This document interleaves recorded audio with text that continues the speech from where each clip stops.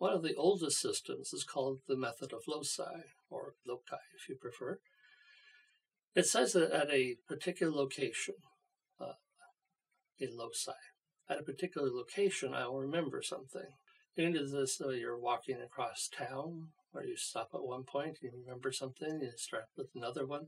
And every location, you think of an image, you think of um, a fact, you think of something you want to recall. So if you have a long list of words that you want to remember, you can put one at each location, simply stop and practice that one when you reach it.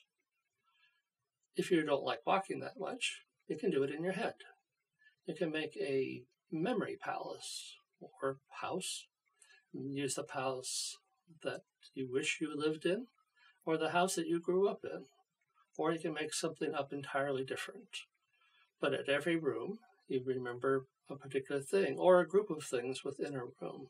So you could have a living room that has a couch and two chairs and lamps, and each one of those things you can remember again a vocabulary word that you're trying to learn or something that you're trying to remember. Next time you want to remember it, you just walk through your imaginary house and go room by room, remembering the facts as you reach them, and the cues, the location cues that are, we are so keen on, will help you remember what you were trying to recall.